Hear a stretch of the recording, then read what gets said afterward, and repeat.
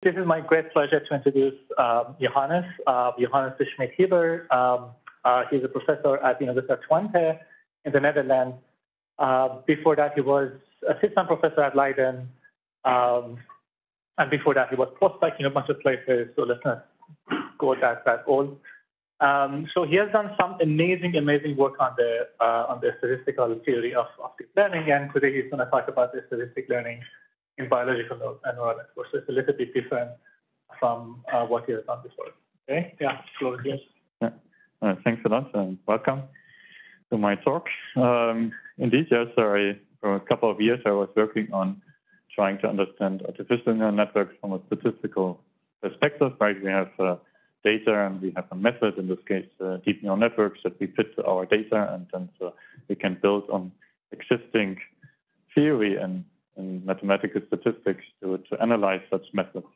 And um, I think this is by now is a big field with many many papers uh, from also the mathematical community. And I feel we need to move on. And uh, I think one thing that I find particularly interesting are these biological networks, and maybe a bit a look into the future. So if we now everyone is busy with AI and, and deep neural networks, but if we see somehow the development over time, then you can, like, if you want to make a guess what is next, then it's probably something that is even more biology inspired than uh, what we have now.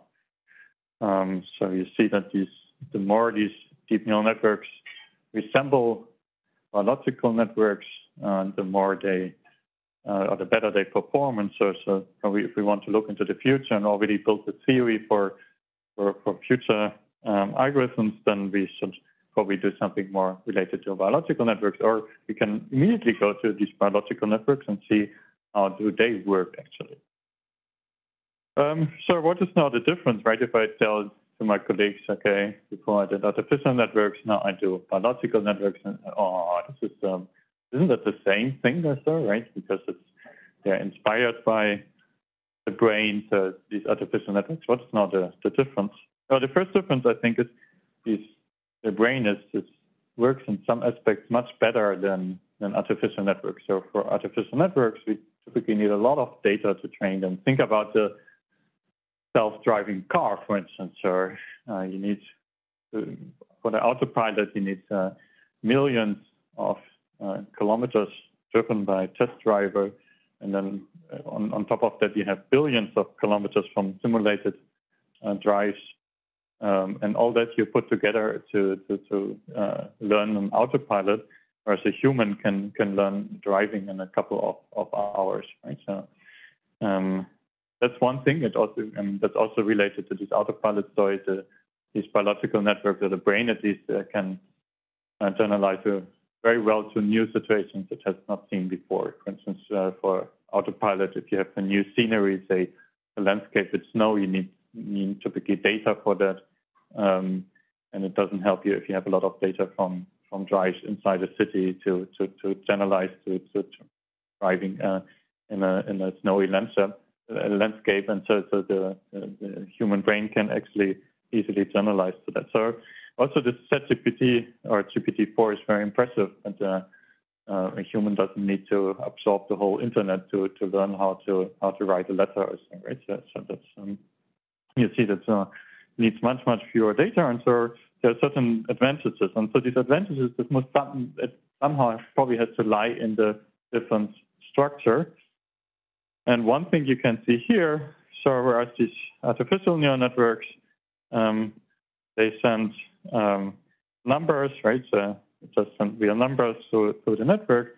One of the distinctive differences for these biological networks is that they, uh, what they send are uh, so-called spike trains. And if you would be a mathematician, or then you would call it a, a, a specific uh, point process. Okay, so you have these spike moments, and that generates you these uh, potentials or signals, and they send these uh, signals uh, through the network and not numbers. Um, and where is now the information? around the artificial network, the information is in the numbers.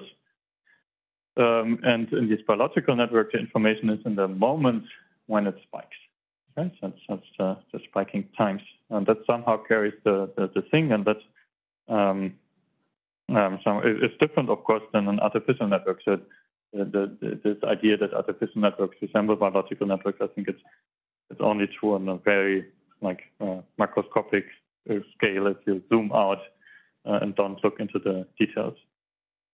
Um, another thing which makes them different is that these uh, biological networks um, widely believed that they don't, they cannot rely on on, on gradient descent methods. And if you go nowadays to uh, a theory for uh, machine learning workshops, then you see like all the talks basically do something with gradient descent. I, find it quite striking that we have like the original thing we started with these biological networks. They, actually don't do gradient descent. And why why can't they do gradient descent? Well, this is also known as the weight transportation problem. The weight transportation problem is if you would do gradient descent, you would have a formula and based on the gradient. In this formula, for look at one fixed one weight, and so then it says the update formula for this weight from gradient descent method. And then you can look at this update formula, and you see this update formula will depend on all the other weights in the in the network. Okay, so millions or billions of other weights, and the, the update formula depends on all of them. Um, so it means uh, a neuron, uh, an individual neuron would need to know what is the value of all the other weights in order to compute this update formula and to, to do gradient descent. Okay, so you, you, you will need to know all this other information, and the brain does not have the capacity to exchange all this information. So it's local, it's, uh, you cannot see what the status of the whole network, so it can only do local updates, so it cannot be based on this gradient descent formula. And I just to see that there's nothing special about neural networks, so I just wrote down for the linear model, like the way we write it in statistics in this matrix vector notation. So if we look at uh, J partial derivative with respect to the parameter of interest theta, and then this is basically the thing that is uh, the increment that we add to the to the uh, uh, J parameter in the uh, gradient descent method, right? And if we work it out, what it is, well, we can write it like that. And here you see on the right-hand side, even in the linear model, that depends on the whole parameter vector theta, and not only on the J component of the theta, but if you work out the gradient formula, it depends on the whole vector theta. So, so basically, whatever you do with gradient descent, you always need to know the whole state of the uh, of the uh, um, of the model at at that moment. I cannot cannot do that, and that's an old uh, thing. Um, here's a, a, picture of uh, Francis Crick, who uh, uh, contributed to the discovery of the uh, DNA structure, and later his interests were in, in neuroscience. And uh, when um, backpropagation was hyped in the in the late 80s, and he wrote this commentary in, in Nature, where he says, "Well, there's a lot of excitement, right? It was a, big hype again uh, uh, about these neural networks." And uh, he said, "Well, this is great, but it doesn't tell us anything about how the how the brain learns because uh, it's not based on on, on gradient uh, descent. Okay, so it is unlikely that the brain actually uses uh, backpropagation. But Um, now um, you can. I mean, there's a lot of neuroscience of modeling of, of the brain and so on. I really want to to make clear here what is the scope of what we do before I come and tell us uh, what what we have been working on in the past. So the, the, the, scope is really to what I mentioned before, what we did also for this artificial network. We really want to come up with a, as we want to understand the brain as a statistical method eventually. Uh, and that means uh, like the first good step is to look at this in a supervised learning uh, framework. We have inputs and we have outputs and have somehow to learn a function that thing by, by, by fitting, say, a biological network now to the data.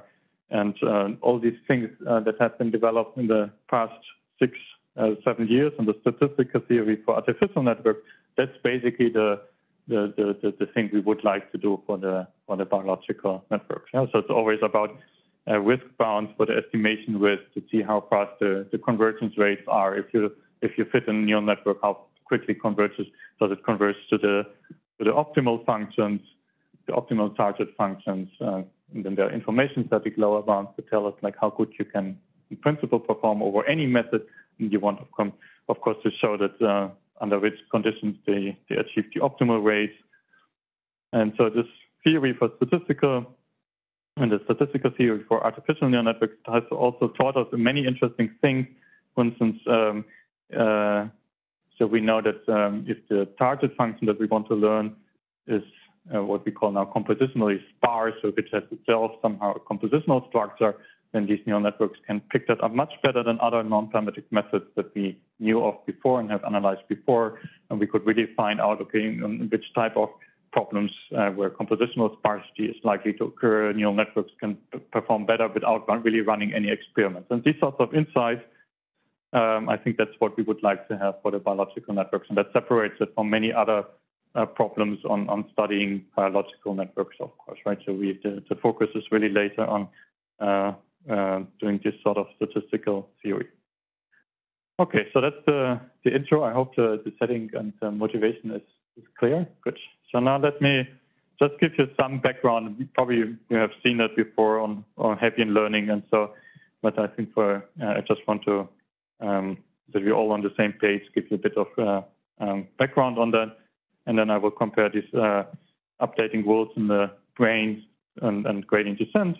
And then if the time permits in the end, I will just briefly talk about uh, other ideas on what could be biologically plausible uh, learning um, and how that uh, is different from what we do. Okay, so let me come to biological networks. Again, this is the plot of the biological network with a spike train. There is a mathematician, we would think about it as a, a directed graph. So there's neurons, there are the nodes, and then they have directed edges, and along these directed uh, edges, you can send uh, these spike trains. Um, and a spike here, I just take a very simple model of a spike so uh, it's basically like a potential. So you get the spike and then an exponential decay of the of the potential afterwards. Um, and then, um, as the artificial neural network, we have weight parameters here that connect these, uh, say how strong the connection is between uh, two biological uh, neurons, and uh, they rescale. Uh, they rescale the the, the the, potential such that we get to see the the, the spike multiplied with the, with the weight. Um, and so we assume that these weights are uh, um, non-negative, and later some uh, actually we, we, I think about the for the theory I think about the topology to be fixed. It's sparsely connected in the brain, uh, and that these these weight parameters are the, the positive on the for for the connected ones. Um, okay, so what is the, the, next question is now what happens actually in, in one of these neurons? So how does it compute, What it computes its own uh, spike train based on the inputs that it receives and how does it do that? What is actually the, the transformation? So, so in an artificial neural network, well, a neuron takes the inputs, uh, the weighted input with the weights and then applies the activation function, out comes the, the, the, the number that it sends to descendants. How is that in a biological network? Well, I'm sorry. First of all, yeah, so just, sometimes I like to use these neuroscience um, uh, notation on uh, names. So the, the presynaptic one is the it is, a neuron that's so we fix a neuron and then all the it gets input from from another neurons and they are called the presynaptic neuron and that neuron that we fix is then called the postsynaptic neuron. So these uh, presynaptic neurons uh, typically they're in the range of thousands um, but here I just uh, have three of them just to, to, illustrate a bit how it works. Uh, they send their potentials to the postsynaptic neurons. And so uh, what happens at the postsynaptic neuron is that it um, superimposes this, these received signals. And at the moment when the superposition exceeds a, a threshold value, um, it, relates, it releases itself a, uh, um, a spike.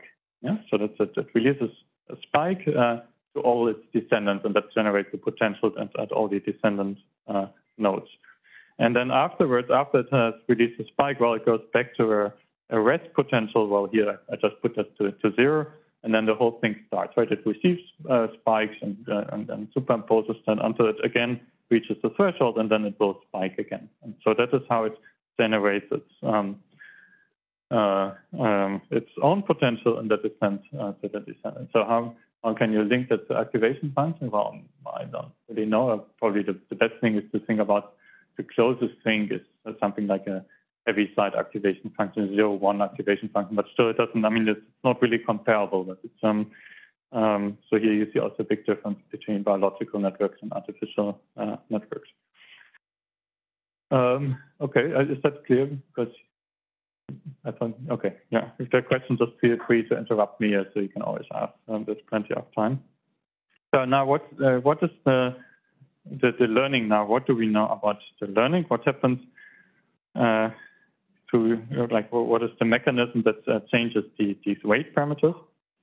Well, um, so this um, it's called um, learning because it goes back to, to Hebb, who in the uh, late 40s um, understood that there's somehow that uh, the, the weights are changed uh, only locally, and that only depends on the on the two uh, on the space of the two neurons that are that are connected. So no, nothing else. Um, and so, why we like to talk about learning in the neuroscience, we like to talk about plasticity. And so, everything that is related to learning will have something to do with uh, uh, will be named something like plasticity. And what I talk here about is the the, uh, the um, on the on the um, really the the, the finest uh, rules for for how plasticity works, and that really um, doesn't integrate over time. Also, there are also these these, these weight models, but here I really really talk about uh, learning rules that um, that depend on the moments when when these neurons spike. So that's called also the the spike time dependent uh, plasticity.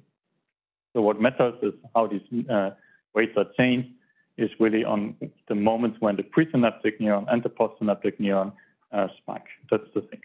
And so what uh, Hebb figured out is in the 40s, like he had a qualitative statement, well, uh, if they fire together, if the, if the presynaptic and the postsynaptic neuron, if they have basically spike times that are close, then that strengthens these connections. That makes the parameters to increase. And if they somehow spike at unrelated times, then that makes these parameters to go down.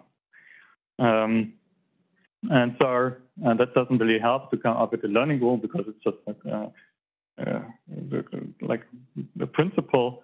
But by now we have much, much better understanding on, on um, uh, the quantitative behavior, how that, how that really works. And that's what I want to discuss next. Uh, so here's a, a, yeah. Exactly. Yeah. So it will depend on the on the on the spikes, and and that is on on the time. Then yeah. So whenever there's there are spikes, you will see that here on this in this plot actually. So that's also nice because it has the T, so it will go up up and down. Yeah. Hmm. Good question. Um, so here's here's display. And so I took that, actually it's not my plot, I took that from a book and just added some colors so it becomes a bit easier to, to follow how it works. Well, there's the presynaptic spike and there's the postsynaptic spikes. And um, presynaptic spikes are in orange. And so what you see is that whenever we have a presynaptic spike, an orange one here, I should change my color to green. So we have an orange one, then the, the weights, they go down. Okay, every presynaptic spike causes the the weight to go down. On the other hand, these postsynaptic spikes, they uh, make the weights to go up. Okay, so by how much do they go down by how much do they go up? And that's a, a weird thing. So the amount by which, uh, for instance, this spike makes the weight to go down is uh, the, the, the, potential of the uh, postsynaptic neuron at, at that moment. Yeah, if it has a large potential, it will increase uh, the weight by a large amount. If it's a small, um, then this will not happen. And now the question is, how does that relate to this fire together, wire together idea? Well, you get these large potentials. Um, okay, maybe I, I uh, first explain when does it go up? Well, it goes up. It's exactly the same thing. So the, the amount it goes up, for instance, here, uh, that is uh, related to the to the potential of the presynaptic neuron if the postsynaptic neuron spikes. Uh, yeah. Mm-hmm. Yes. Yeah. Yeah. Yeah. Exactly. Yeah. Yeah. Yeah. So where does that come in? Well, uh, at that moment we just somehow there's some underlying mechanism, some something. It's, it's not clear yet uh, how how that works. I mean, for the uh, for the eye, it's right. We have uh, neurons that's uh, that are sensitive to certain parts of our uh, the, the, the, visual field, and if there's some signal, then they they will somehow release a Poisson process or so to its descendants, and then whole, the whole thing uh, starts. And how the how the response is incorporated, that's something like that is. I, I will come to that come to that later. But for other areas like beyond the visual cortex, it's, it's not important also for this talk how, how that actually works. You will you will see that also at the end. Yeah. Yeah, yeah. Mm -hmm.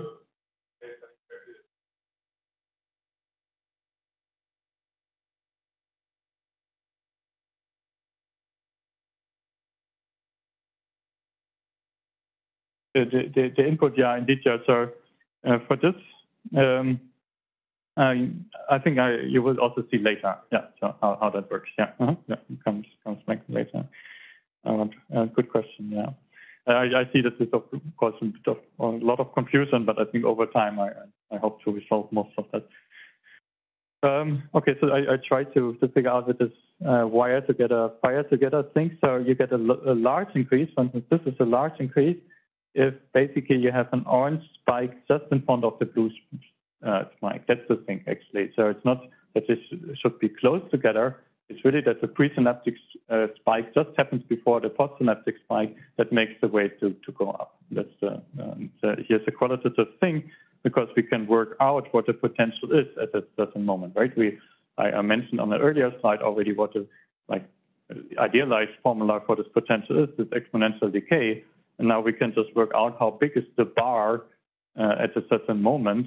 And then we, we know like by how much it goes up and by how much it goes down, right? It's a sort of exercise. And here's the, the thing. So I take a, a, a presynaptic spike time called tau, and then we look at the closest uh, postsynaptic spike times, uh, t minus and t plus, that t plus that happened before and after tau. And depending on that, uh, well, we have some formulas that depend on the on the difference of these of these spike times, and you have this exponential decay, and uh, that's the amount by what it goes down, and that is the amount by what it goes um, up in the end. Yeah, and then so what I do here, I just put that into into one. Uh, not not yet. Uh, so here's again just the formula. Okay, we have a neuron I that sends uh, spikes uh, spike train to neuron J, and then if it has a spike at time tau, we have an, decrease um, at the time tau uh, when the presynaptic spikes by that amount, and uh, uh another one uh, an increase of the weight um, by by this amount. And we also have these uh, amplitude functions here that I didn't mention before.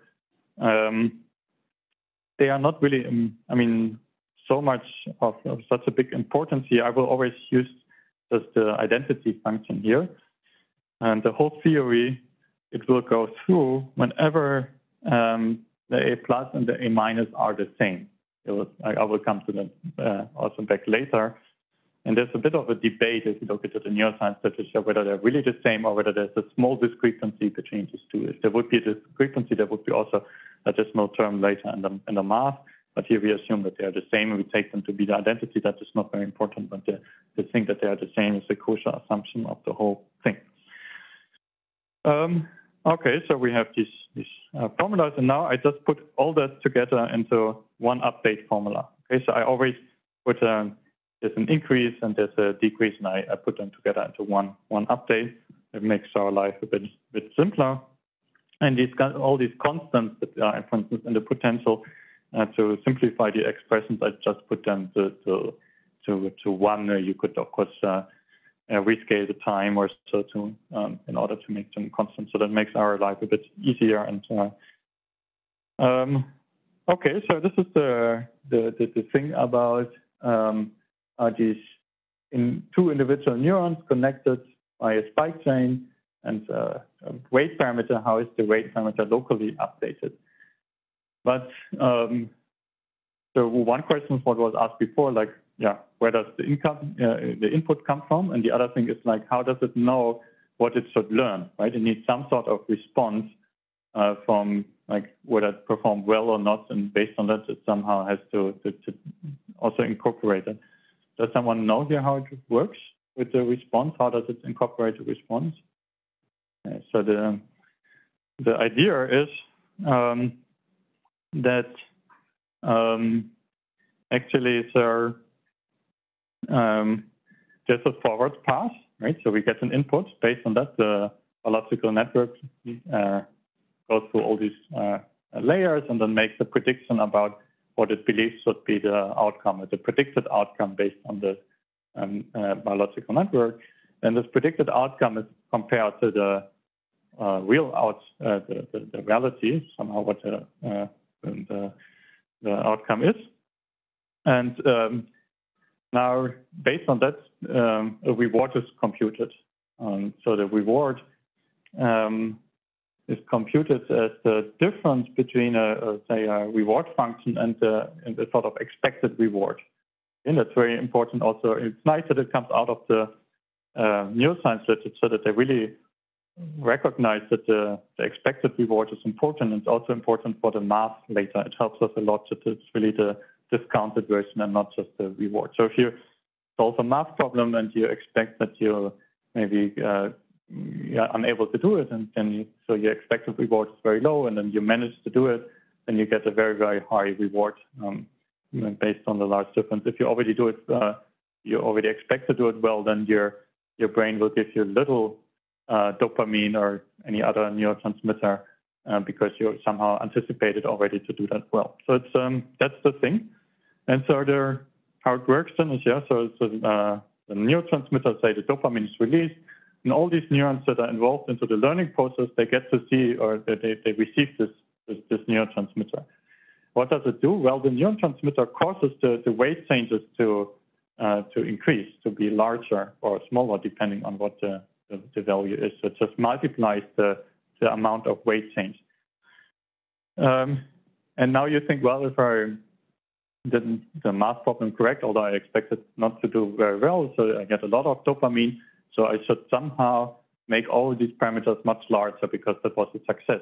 But that's not what works, right? How it works. It's also if it has a, a negative weight change, this thing will make the negative weight change also makes it larger. So, so, so it just makes it more extreme, the, these weight changes, but it does not make the, so, so I think this common belief is that if you do successful, then, then you, you, all these connections are strengthened that are involved. No, that's not true. Somehow it's really just a, a rescaling of the of the of the weight changes. Okay, so there's a bit of a problem here with the with the timing um, because we we only know the reward after we have done the prediction, and this thing, these updates, they happen before we do the prediction, and so that's something yeah in this neuroscience literature that and, and they think there's a small amount of memory or so which I don't fully understand, but uh, somehow they, they are happy to, to, to write it down in, in, in, in that form. And we will work with this with this formula, but I, of course it's clear that there's some, somehow a bit of the discrepancy here. Um, okay, so what we have now, if we incorporate it, we have um, um, this uh, multiplication, multiplicative factor, um, and we also can, and that's also motivated when I mean, what we know about how the brain works, um, that there should be some sort of learning rate if you do a task over and over again. Of course, it's uh, the amount of dopamine that you get, uh, excitement that you get, even if you always do it right, it's, it's decreased. So it just gets more and more boring. So yet we don't have really the, the data. We don't have the, the so we cannot make it uh, data dependent, but that will uh, happen later. You will see that. So, so it's very natural also to include uh, um, a learning rate into that. Um, okay, so now because um, I want to put everything into the supervised learning framework, we like to work instead of rewards, we like to work with loss functions. So I just take uh, the loss function to be the negative uh, reward and the expected loss function is the negative expected reward. Uh, and so then that just becomes a minus, and there was a minus here and the plus there, so that just changes. So, so now it's the plus here and the, the minus is, is, is here. Um, so that's the what we just extracted from the from the neuroscience literature. okay, as a, as a local updating formula. And of course, it doesn't help us anything for supervised learning because it's just on the level of individual weights. Um, but the, the key observation here is, okay, we know it cannot based on the cannot be based on the gradient, um, but it's based on the evaluation of the, the, the loss function itself, not on the gradient. And then we know that there's a big field in optimization that actually works exactly with optimization methods that only work on the on the level of the loss, and they're called derivative-free methods because they don't use the gradient. So it's very natural now to somehow try to connect it to gradient gradient-free optimization. Yes, you would like to ask something. Mm -hmm. All of them, all of them will be updated. So the, the, the dopamine is released, and somehow the, the idea is that all of these neurons that are involved into the learning process get to uh, receive a bit of this dopamine, and that makes them to to to, to increase the, the weight change.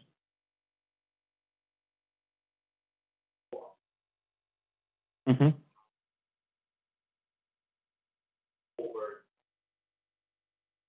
Well, uh, it's very different, right? Because it just sees the, the, the, loss and it doesn't see the gradient, right? So this is one number here, whereas normally the, the gradient is a vector, right? So, so, so it's, a, lot of information. That's also why it cannot do that. But here, so the only feedback it gets is this, this one number, which is the discounted uh, loss in the end. And that's the, the way it gets feedback from the uh, from from how well it, it did and that's what it can use in order to to learn uh, a task.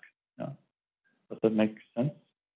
Okay, let's uh, just see with the time and uh, it was oh yeah okay yeah about half time.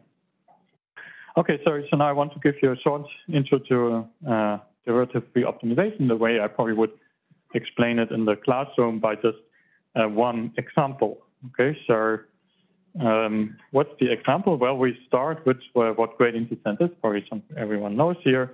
The gradient descent is we have a parameter theta, and then the next iterate, uh, we look uh, at the negative gradient, and we, we scale it with uh, the learning rate. And then there's uh, Stein's lemma. Stein's lemma says, okay, you take a random vector which uh, has a center multivariate normal distribution, and it has uh, identity covariance multiplied with a with a sigma squared, a variance sigma squared. So that means the the entries of the vector all uh, standard normal, uh, well, they're all uh, centered normal with variance sigma squared, and, and uh, they're independent of each other. Now, um, the Stein lemma, Stein's lemma says, well, you can look not at the gradient, but at the perturbed gradient. So where you perturbed by a uh, this uh, random vector, and an expectation as up to this multiplicative factors, the, the variance sigma squared, an expectation that's the same as if you evaluate the loss, also not at theta k, but at the perturbed uh, theta k plus psi k. And that is now, again, this thing, right? On here we have a vector, and this loss is, um, that's just a real number, right? It's, it's uh, a real number. And now we, we need a vector on the left, so we have to multiply it with this, with this perturbation vector. And an expectation that's the same, it's a, a trivial exercise to see that it's just integration by parts. There's nothing deep in, in that. But it allows us to go from something from the gradient to something only depending on the loss without the gradient. Um, okay, so if we, that only works in expectation, but we can of course say um, this gradient over here, well, that should be if we make the sigma squared small, so that should behave basically like the gradient of the theta k plus xi k.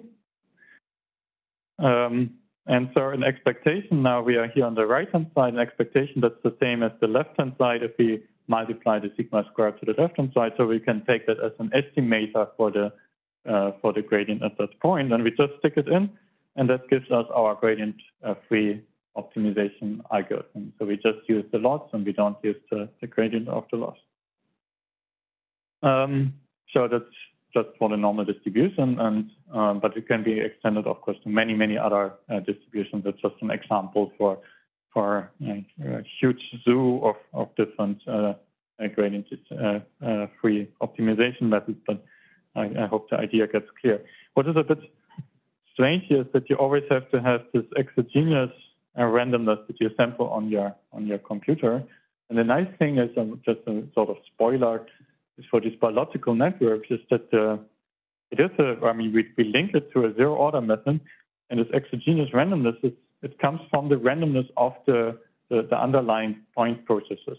So this randomness is exactly the randomness that you need here. So it's a, because I mean the brain cannot just sample new random variables. So, but this this comes in through the uh, through the way these biological neural networks are structured. That that uh, just creates that thing. Yeah. Mm -hmm. Yeah.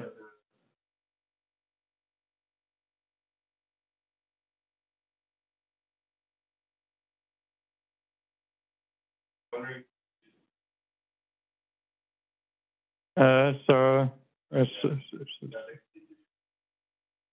okay, so here's a vector, right? And so, so, so the expectation is taken over the randomness of this vector. And so if you, yeah, so, and so, so this all, I mean, these features are also thought of, of vectors. If you talk about Brownian motion, you think about a functional version of that. Uh, yeah, probably should also, should also exist if you want. So, but, uh, and, I mean, we have later also an we have a finite vector of parameters somehow. So, so, we just have to discuss it on the level of, of vectors, of course. And that's what happens if you implement it. Of course, you always have to, to vectorize. Okay, so that, that sounds great, right? Because we don't need a gradient, we want to compute a gradient, so we just, the loss is, is simpler. So what, is that now a great method? No. Uh, the thing is that um, this method is, has the disadvantage, it's an estimate of the gradient, but it's a very, very noisy estimate. So it's a Hartree gradient system. It's also an estimate of the gradient, but it's not as noisy as this estimate. Uh, so the, the, the, disadvantage is really that the, the, amount of noise that you have here, right? The Stein lemma works on the level of expectation, so it doesn't tell us how noisy that is. The amount of noise that you add really scales with the number of parameters. So if the larger this uh, system is, the more parameters you have, the more the noisier it will get, and that's of course very detrimental to to, the learning thing. And here's one way to to see that, if you like, a bit of math. Um, so if we work out what what this object is, which uh, occurs here, this uh, uh, order increments, um, then uh, well, you can separate that if you take the least squares loss here, least squares loss, square squared Euclidean norm, then um, you see you can put uh, here the d minus one terms. And all what matters is the expectation, right? And these d minus one terms, they have mean zero, so they don't add anything to the expectation. They only add to the noise, and they make later the noise to scale something even like d squared or so. Um, so it's very, very bad. And only that one term, which is from the jth component, that is really what contributes to the, to the expectation. That, that has to do with the fact that we store, instead of having a whole gradient, we have to everything in this one number.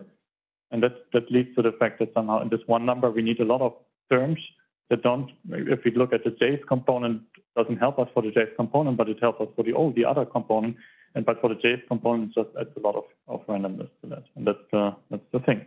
So instead of a feedback, right, in this neural networks, instead of having a feedback, which is a whole vector, we just get one number. So there should be somehow a loss of, of order d or so uh, expected, right?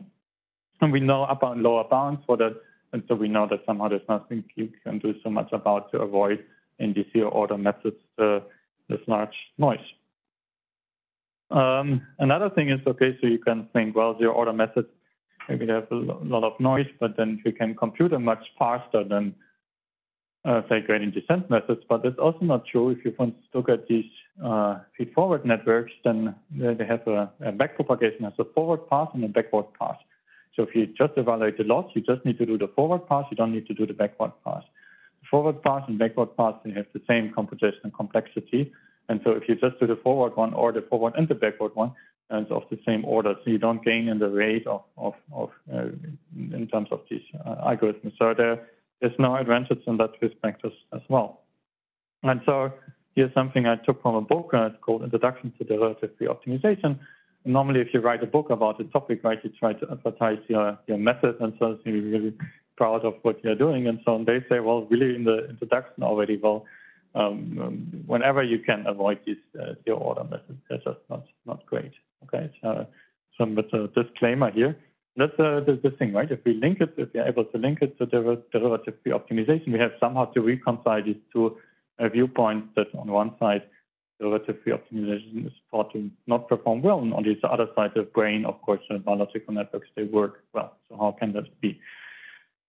Before I come to that, I just want now to, um, uh, in the last part of my talk, I want to connect the um, um, updating of individual weights to a global updating rule. Okay, so this is the, again the, the formula for the updating of individual weights. Um, we, uh, I think you, you remember that so it depends on all these uh, spike times, tau, t minus, t plus from the pre and postsynaptic neuron. And so what I want to do is I want to link it now to that thing. Okay, so it looks very different, and I will explain it a bit in a second. Right? So I want to show um, that this is the the object we have to study. That's the, the, optimization method that we should study as a global optimization method, not on the level of individual neurons.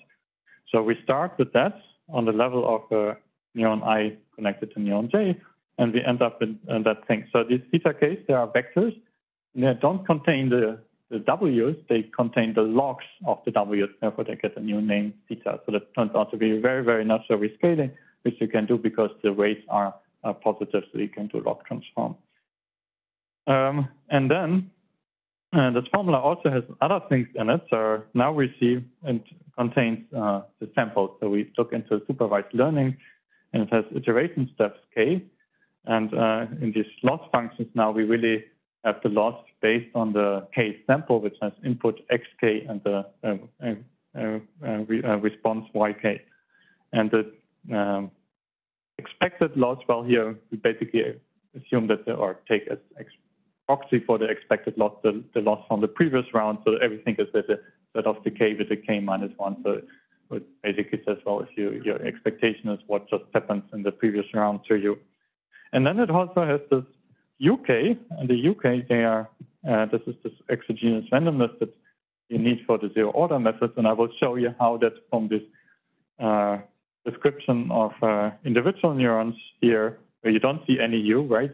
How, how, where does that come from, right? So, I, but that comes also, I mean, um, um, through this um, uh, through this underlying um, structure of biological network, and this UK occurs in a lot. um, and it also occurs here um, as an outside uh, vector. So that's a vector here, and this is, uh, so what I mean with that, the UK is a vector and e to the minus UK is just e to the minus applied component-wise to the entries of the UK vector. Good, that sounds uh, a bit of a far stretch. So how do we get there? And I have structured this, um, I just want to show you like the, the main steps and I have structured it into four main steps, uh, how we come from this uh, individual updating to the, to the global updating rule. Um, okay, first step is the first step. And all these steps, they come with underlying assumptions that I try to highlight. And so we make strong assumptions. There's no, no doubt about that. So the first uh, step is to write this in uh, updating formula here um, as a, as a iterate in an iterative form. Okay, so what does it mean? So we get to see uh, data and every round as an SGD and stochastic gradient descent, you get to see a, a new sample, a new uh, input, and then you have to make a prediction on the output. And um, what is known is that um, if you see something, you have to classify that, then um, individual neurons, the, the, this process is really, really fast. Okay, so that's also why we really need to look. I mean, these rate models that average over time, they are too slow to explain anything about learning. So you really have to look into the spike time dependent plasticity to explain that. And then typically, like the, the amount of spikes of neurons uh, until the decision is made is maybe two or three or 10 or, or zero or so, right? It's, but it's really small. I mean, the, there are few spikes until um, the prediction is done by the, by the biological network. And so what we do here basically was in order to synchronize the number of spikes and the number of samples, we, we say, okay, we assume that for every neuron, there's exactly one spike occurring in the case sample. Okay, so you get to see one sample, every biological neuron can make one spike, and then the prediction is done. Okay, so that synchronizes the number of updates and the number of samples, and that makes our life easier. It's not that it's very realistic, but it's of the order I think it's right. So, so that means we then can write these weights that the, the, the case updates and with the case samples all synchronized. And then we can rewrite it into that into this form where everything is now k dependent. And we have, you see, we have these predicted responses and the, the, the true responses in here. Okay, that's nice. Now the next step in this derivation is um, we want to get uh, somehow the randomness out of the spike time structure. And so what we do is, well, the argument is as follows. One postsynaptic neuron receives input from about a thousand presynaptic neurons. That means the influence of an individual presynaptic neuron on the postsynaptic neuron is very, very small, right? So, so it does not really, I mean, if it's just one, then cannot do anything. It's really that they, there's a lot of things going on at the same time. If the influence is very small, well, we, what we can say is assume that actually the the moments, the spike times of the presynaptic neuron are completely independent of the spike times of the postsynaptic neuron. It just happens maybe at the early stage of learning, at least just happens at, at random times. And then between two spike times of the postsynaptic neuron, the a specific presynaptic neuron has a uniform distribution of a spike to occur between that um, the, the, two postsynaptic ones. Okay, so that means now what we can say is this thing here, this object, uh, under this assumption, it's, uh, it's actually a uniform distribution. So that means, uh, and, and it's not true. I mean, there's, for instance, um, there are states in, in learning, um, for instance, if during an epileptic attack or so, then where, where, all these neurons are synchronized and so on, then it's not true. But it, maybe at a certain, I mean, that's also not something where you where you learn a lot or so, right? So, so there, there are of course states where it's just not where this assumption is violated, but I think it's still a good proxy to to start with and to say, okay, so there's so many, then their individually contribution is small. So that's basically you think about uh, unrelated, and so that gives you uniform randomness over conditioned over um, the spike times of the postsynaptic neurons. So that means if we assume that, we can now, before, you know, we had these, these difference of the spike times in here, and now we can put in here these, these uniform random variables in here and here. Okay, so we have resolved these difference of the spike times by just something uh, uniformly distributed. Uh, that's step two. Now, step three is about um, uh, the loss functions. And so whenever you want, also in the, the gradient descent methods, um, gradient descent based methods, you, you need to understand how does the, the loss function depend on the parameters, right? Otherwise, you cannot do any, say anything about gradient descent. It, you take uh, with respect to the parameters. So what we have to understand here is in such a biological network, there's a prediction that's made based on the outcome of the biological network but how does the yk hat depend on the on the parameters of the biological network? Okay, so let's try to work that out. Yeah. Mm -hmm. Um, yeah, so we take the condition here on that, yeah, in detail. So that's a bit uh, weird. Sorry, so uh, in uh, well, yeah, yeah. So, so you would. Well, you can think about this in the next layer, two layer thing it's much, much more synchronized uh, than in the previous layer. So, so that um, it, it, it, spikes at much, much more regular times, and therefore it makes uh, maybe sense to take it fixed here. And that, uh, that. Um, well, if you if you can measure the, the brain activity, or so, so you, in principle, I think you could you could uh, look at it. Yeah, so, so, sometimes they do that with monkeys with the brain open to so and they can can see how the, these spike trains and so look like. Yeah. Um, okay, so the, the next step is on how the prediction depends on um, on the parameters. And the interesting thing is that it uh, depends on the parameters only through these parameters multiplied by these e to the minus, and then there's also the difference between the, the uh, presynaptic and postsynaptic spike times. And that has to do with the fact, well, so what does it remember from the from the past in the network, right? From the from the past layer, all what it remembers is the, um, the, the, information of the future, right, that, that it sends to, to, to, later layers and other neurons in the in the biological network is, is in the spike times. Okay, so that's all all the information it has for for its descendants. And so the spike times itself, if we go back to this explanation here, the spike times they depend not on the parameters, but they depend on the.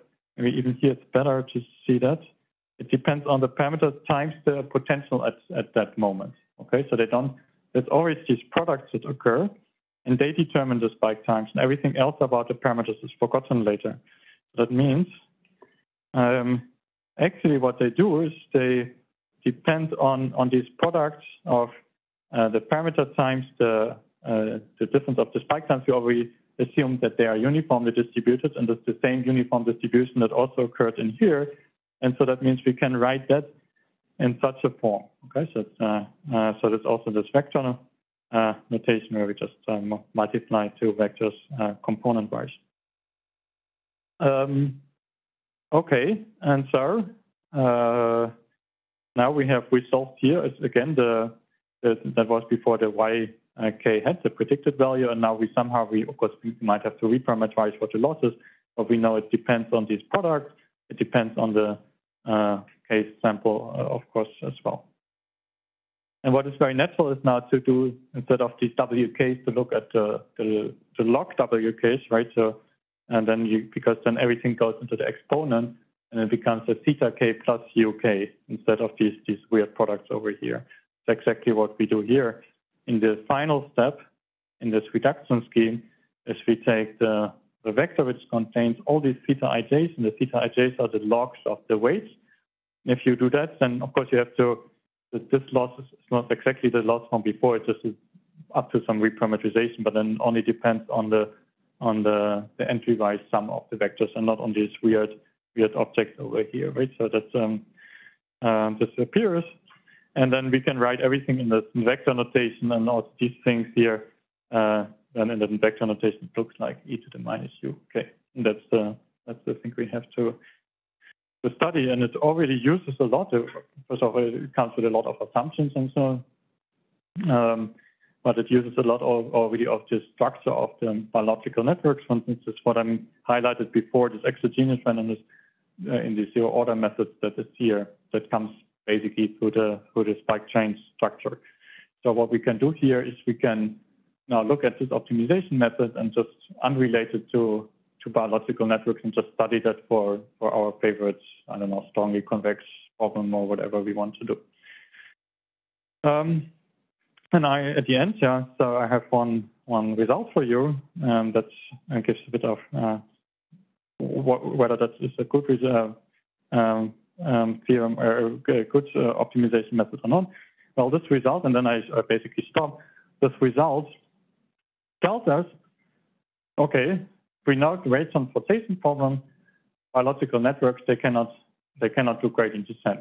But this result tells us that an expectation, it actually does gradient descent up to some um, up to some perturbation in here. Okay, so if we would not have this UK here, if you maybe also forget about this factor, then what you see basically, if this is the expectation here, right? If I take expectation, um, then um, in expectation it is something like a gradient descent method. And again, like what is also in the Stein's lemma, and so we have this perturbation and not by the normal distribution here, but by the uniform distribution.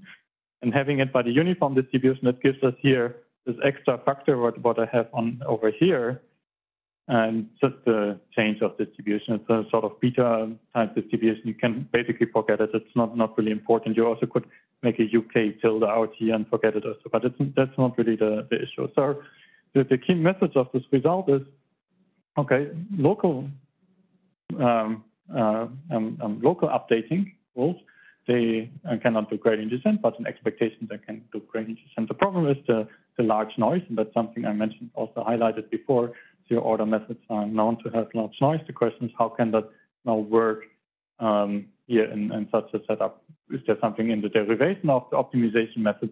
Or maybe there are problems where actually also these zero order methods can perform quite quite well and even optimal in an optimal way. Okay, and with that, I, so I had one slide more about other approaches. Uh, I, I think I have to skip that. I just want to come to my summary slide. And then I have a few minutes of questions. For questions, thank you very much for attention. I'm happy to take any questions.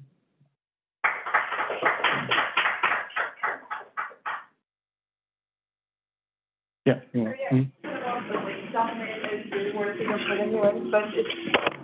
Yeah, sorry. Um, so you said that the dopamine is the uh, word for the neurons, but it's not the only neurotransmitter that exists, as I understand it. So, like, what are the other neurotransmitters functions? Like, do they also simulate like updates, or or what what do they do? Ah, okay, yeah. Uh, Okay, so this is um, this formula here is for excitatory neurons, and uh, for inhibitory neurons, there are many different versions. Um, it depends on the neurotransmitter. So I and um, I have excluded these uh, from from the analysis. I, I don't know what to do. They, it's important when you have this ratio of 80% excitatory and 20% uh, inhibitory neurons and so on. People say it's important for the learning, and I've also ignored that at, at that level. So because and that's one of the reasons is that there are no good uh, formulas on how these inhibitory neurons uh, change the weights based on, on, on the neurotransmitters they get. Yeah. So for that, yeah, I, I think it's just talked to someone yesterday here. It's um, not even clear what the role is of that we have several neuron transmitters in the brain, right? So, um, um, but I think this formula yeah, is also, if you talk to experts and they say, well, this is true for certain brain regions where people have tested that, or it's a good proxy, but there might be other brain regions that also learn with other formulas. So, but of course, then, then it becomes endless, right? So, so I think a good way is one has to make somehow choices because otherwise you don't get anywhere, right? So, so therefore, I think we make all these sorts of choices and try now rather to look at the into the optimization methods instead of trying to to model all sorts of different brain regions and see what the discrepancies are. Yeah. Yeah. Thank you. Uh, thank you very much for your presentation. Uh, may I ask you if there is some unique memory mechanism that we can use this, with this type of neural networks? And if we can use some already developed approaches for memory or attention mechanisms that we have in deep neural networks? Uh, can you repeat it? So do you want to? Yeah, like, uh, do we have some specific uh, memory mechanism, for example, like mm-hmm. RNNs or LSTMs that we have in the usual neural networks? But is there some specific exactly to this memory mechanism? Okay, I, okay, I, I don't think it's uh, can answer this question. I think I, I really used to look into the supervised learning framework, um, and I people like to ask about this what what does it memorize? And so even like for supervised learning and so that's something also from the statistical theory. You don't really get out what what individual weights do and what it what it really memorizes or so. Uh, it's all what you can prove in the end that what comes out is somehow a good thing for for reconstructing the the target function. But because it's a black box somehow these i think there's no tools that we have that that can tell us something about memorization so. And um, yeah for, for, for all these attention type mechanisms, I can also not say anything, uh, I think, at the moment. Yeah. Yeah. Thank you. Do you have any other questions? Uh, thanks for the talk. Um, so at the end, your equation for the update rule mm -hmm. for theta, mm -hmm. um, it depended on the rate of change of L, the loss function. Mm-hmm. Uh, so is, is, that biologically plausible? Because if the, the feedback is on dopamine and dopamine's corresponding to the difference between the, uh, the, the result and the expected result, it doesn't have a store of the rate of change of dopamine. Uh, so, so you're wondering about um, the minus thing here? Mm. Yeah. So, so that is already incorporating. So that is that is the loss here and what we take here just for the presentation is that the, the, the previous one is the, the somehow the anticipated, let's, let's call it an anticipated uh, loss. Um, so we take the, the previous round as anticipated loss. So and what it, so, so that is the, the difference is somehow the effective the effective loss actually. And I, I forgot maybe one thing, which is why is that a good thing from the optimization method? I, I think it is just really, I mean, in the neuroscience literature, they say it has to be exactly like that, and these models, because otherwise it's not going to, to, to work. They, they, they observe that as well. And for the neuroscience, uh, for the optimization, having the difference actually helps um, because I said, well, the, the noise in the zero order method that scales with the, with the D um, but if you subtract it, it, it somehow gives you a, a, square root of d, like it's only a square root of d because the first order terms that dominate that thing that, that they drop out, and so, so so so it becomes less bad if you have the the difference with the with the loss before. You can you can see that. So so there is some some gain here. I think these methods there's also two point zero order methods where where you use two points, and they're also known that they they gain a bit in the in the dependence on the d of the noise. That exactly happens here as well with the difference. Um, and um, so, so it's, it's much better than the, the one. If, if we would not have that here, it would be much worse in terms of optimization performance. Yeah, yeah. And it's biologically plausible. Yeah. Okay. Basically, the loss at time k minus one is the expected loss at time k. Exactly. Yeah. Okay.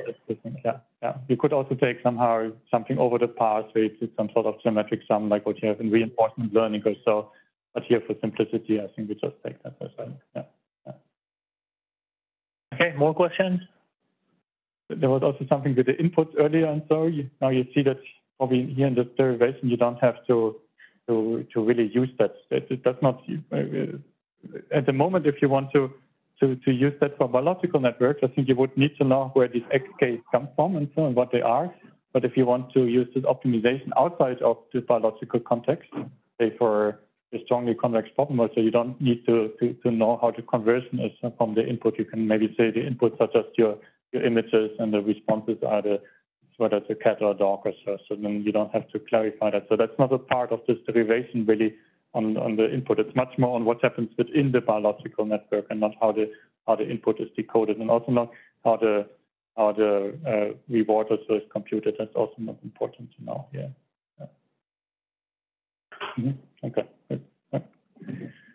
Okay, no more questions. Okay, so let's thank Johannes again.